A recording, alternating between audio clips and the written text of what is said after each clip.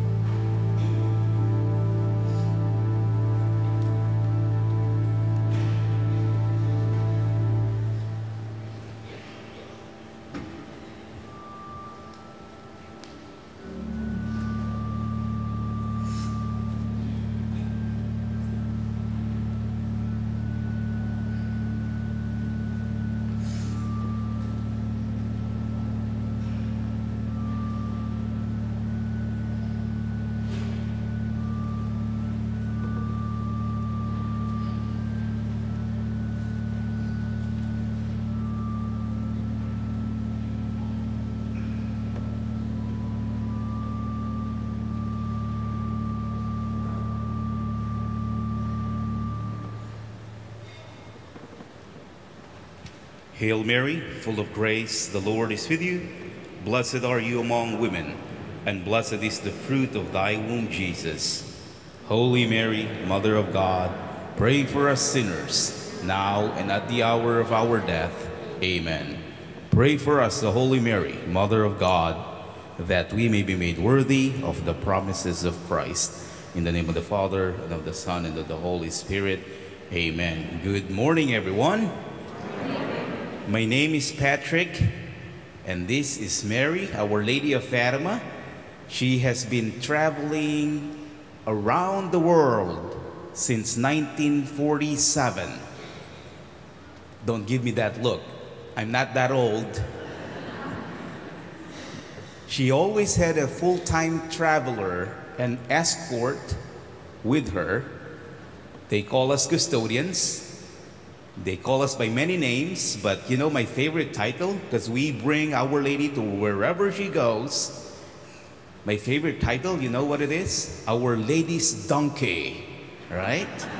We bring Our Lady to wherever she goes, and I have the honor and the privilege of traveling with this beautiful statue for almost 20 years now. It's such a privilege. I go to wherever she goes. I take her even on a, an airplane. We, I buy her a ticket. She, she sits right next to me. And you know her favorite seat? The window seat. She could look over the countries and territories. But I'd like to tell you why we have such a beautiful statue. Mind you, this is the original that was blessed by the Bishop of Fatima in Portugal on October 13, 1947, in the presence of 150,000 people. That's a lot of people, right? Who witnessed the crowning and the ceremony of spreading the message of Our Lady of Fatima. But can I ask you, why do we have, or why do we have a statue of Mary? How do we know how Mary looks like? Did somebody tell them? The artist? Can you guess? I bet you can guess. Do you love stories? You love stories? I bet you do. How does a, a story usually begin? Once upon a time, right? How does it usually end? And they live happily ever after. Now, I'd like to tell you a story. I know I don't have a lot of time here. Uh, we will begin Mass at 9 o'clock, so I'm going to set my timer for like 10 minutes. You love stories? I will tell you why the statue came to being, right? At the time, they, you know, the Fatima apparition, the basic story, but I'd like to tell you the most amazing kids, the amazing children that I have ever known. And I read about their lives, and I will introduce you to them. I'm not gonna open the door and let them come in, right? But I'll, I'll show you something. Because they are the youngest saints ever in the history of the church. Saint Francisco, you know, I can do this now because they are saints. They are elevated to the altar. And Saint Jacinta, they are brother and sister. She is seven years old, nine years old, when the lady dressed in white appeared from heaven into the Cova da Iria, onto the holm oak tree, and Sister Lucia, their cousin, she is not a saint yet. I'm gonna put her down here. Now, they saw Our Lady. Have you heard the story of Fatima? I'm not gonna take too much of your time. You heard Fatima's story? Yes, those children, right? You know them. What are their names again? Lucia, Jacinta, and Francisco, right? Now, they saw Our Lady with a simple message of hope, the peace plan from heaven. She said, Pray the rosary every day, sanctify your daily duties, you know, all those things. The first Saturday devotion, you're going to learn more about it in school, in, in home, in the church, you know, all these things. But this is what's interesting. Lucia became a Carmelite nun. This is recent. I'm not talking, this is for real. The, the story I'm telling you, it's not a fairy tale. It's a true story. Lucia just died in 2005. She was almost 98 years old. Can you believe that? But Jacinta and Francisco, they died of the Spanish flu in 1920. So a couple of years after Our Lady's apparition, they died and went to heaven as Our Lady promised. And they are now living their lives happily ever after. That would be in heaven, right? That's our main goal. We keep our eyes on the prize.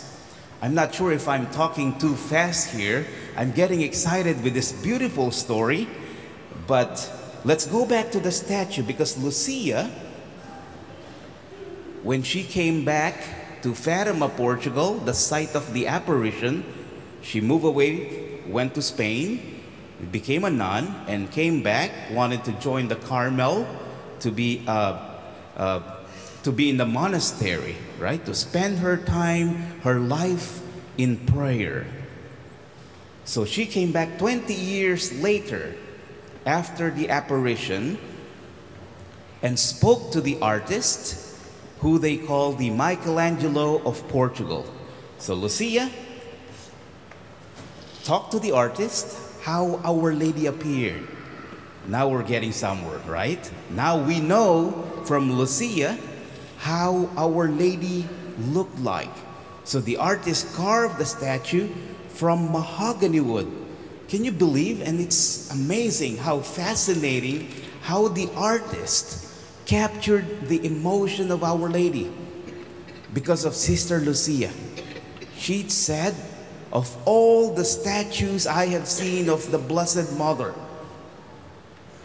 this is the one that I like the best. So the original statue is right here in front of you.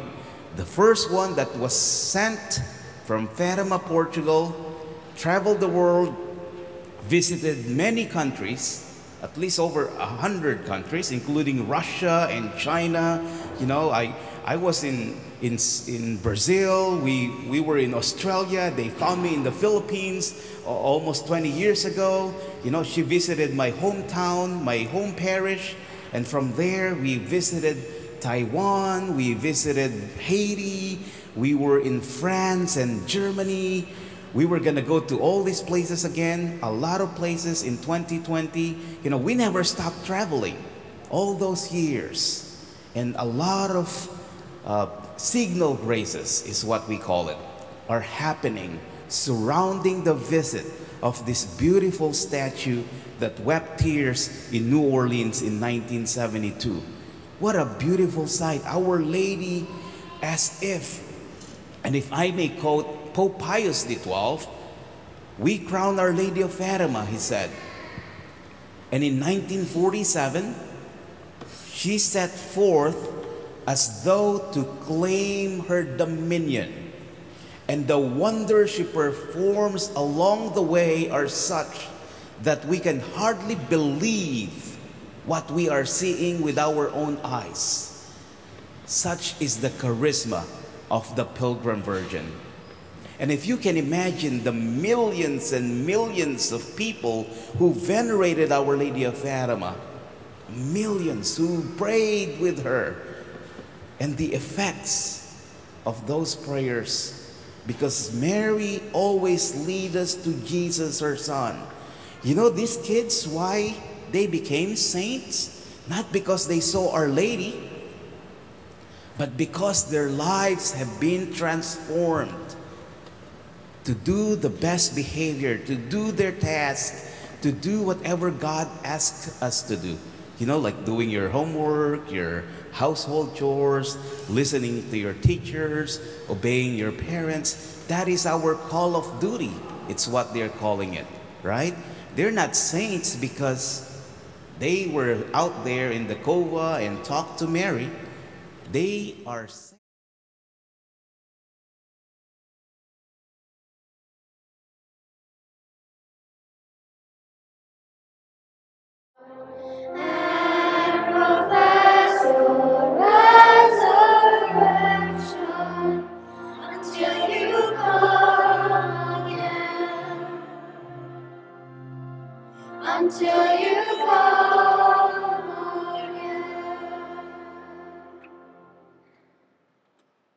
Therefore, as we celebrate the memorial of his death and resurrection, we offer you, Lord, the bread of life and the chalice of salvation, giving thanks that you have held us worthy to be in your presence and minister to you. Humbly we pray that partaking of the body and blood of Christ, we may be gathered into one by the Holy Spirit.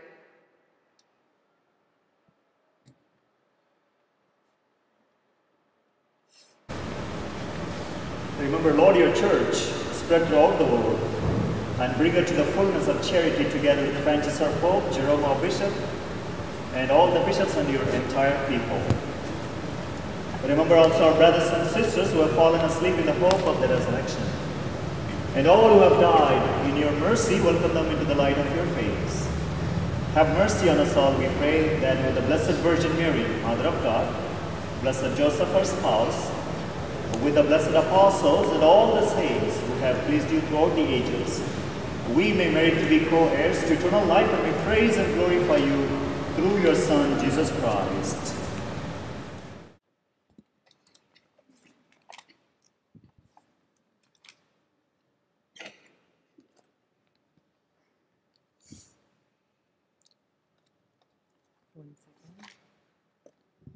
Through him, and with him, and in him, in the unity of the Holy Spirit, one God, forever and ever.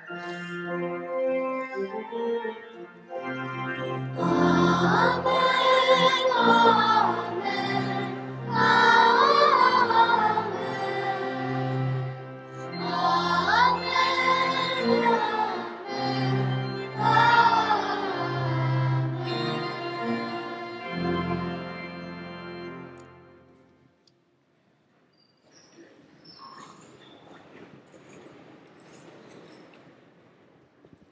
The Savior's command and formed by divine teaching, we dare to say, Our Father, who art in heaven, hallowed be thy name. Thy kingdom come, thy will be done, on earth as it is in heaven. Give us this day our daily bread, and forgive us our trespasses, as we forgive those who trespass against us. And lead us not into temptation, but deliver us from evil. Deliver us, Lord, we pray, from every evil. Graciously grant peace in our days, that by the help of your mercy, we may be always free from sin and safe from all distress as we await the blessed hope and the coming of our Savior, Jesus Christ. For the kingdom, the power, and the glory are yours, now and forever. Lord Jesus Christ, who said to your apostles, Peace I leave you, my peace I give you. Look not on our sins, but on the faith of your church, and graciously grant her peace and unity in accordance with your will, who lives and reigns forever and ever. Amen. The peace of the Lord be with you always, and with your spirit. Let us offer each other the sign of peace.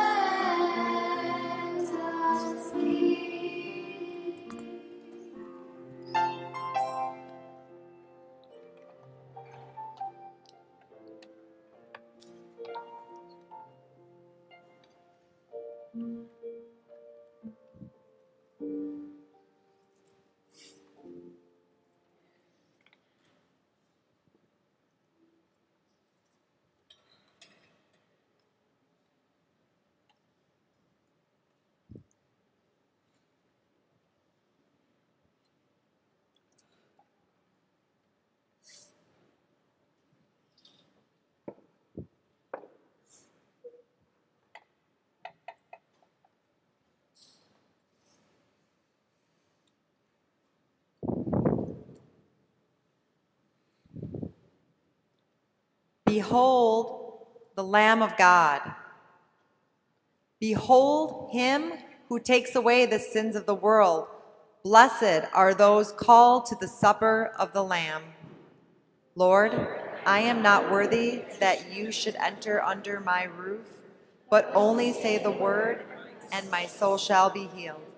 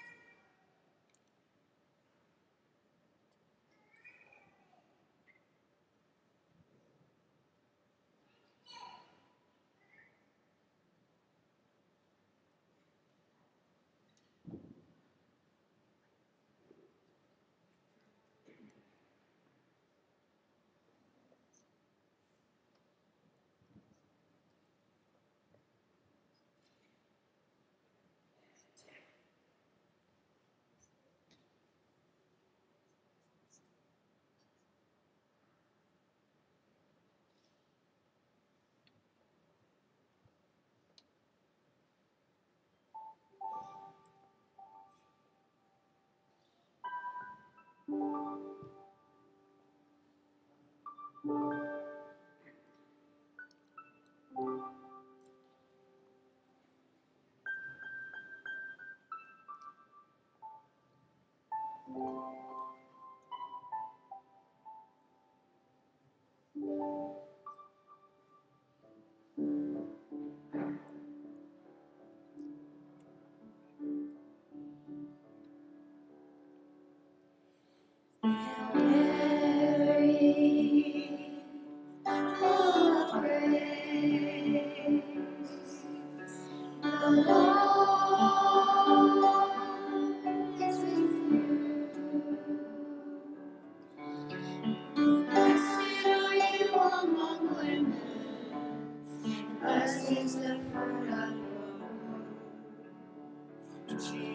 Jesus.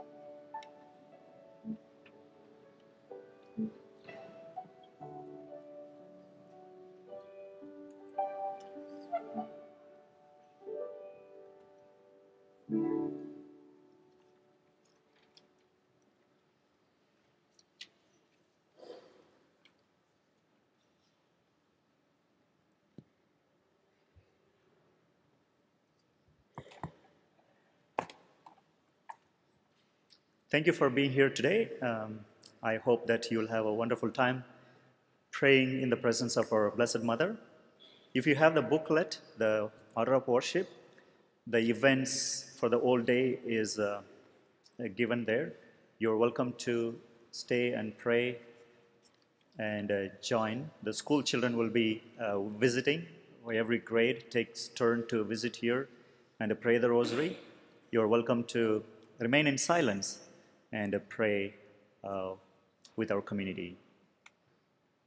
And uh, thanks to Father Christopher for honoring and bringing a lot of blessings to all of us, and also the deaf community and all who are here. Thank you very much. And we'll continue our celebration.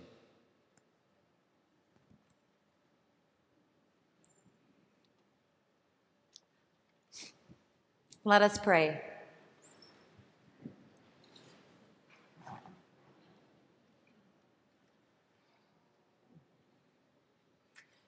Renewed by the sacrament of salvation, we humbly beseech you, Lord, that we who have honored in veneration the memory of the Blessed Virgin Mary, Mother of God, may merit to experience in perpetuity the fruits of your redemption through Christ our Lord. Amen.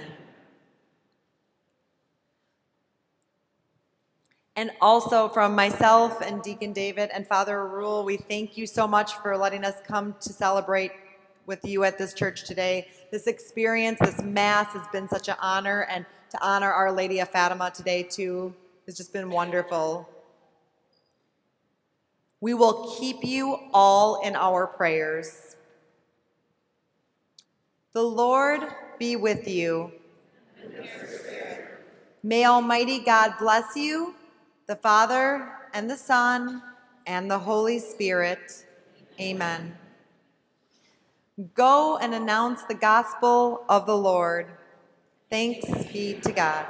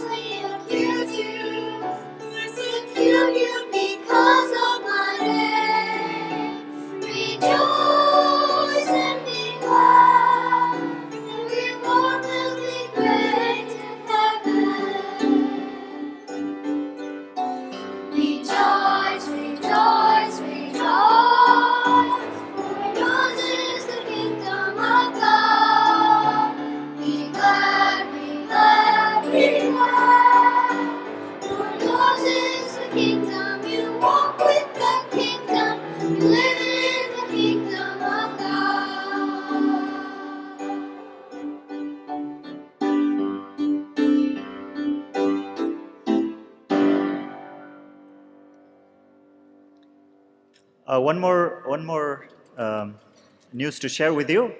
Uh, a special thanks to Kevin Gilpin, who had been uh, behind all this, uh, bringing Our Lady of Fatima to our Holy Apostles. He, with his team, he played a really a very uh, leading role, uh, making all these things happen, working with the school, and uh, thanks to the school for your great support. And uh, thanks to our fifth graders for making this liturgy beautiful by your beautiful voices. And uh, thanks to all of you. And uh, so if you see Kevin and his team outside, just, uh, you know, like uh, thank him. And uh, I hope that the rest of the day will bring you peace and an opportunity to sit here in the presence of our Blessed Mother and pray for the world and especially for the conversion of hearts and minds. Thank you.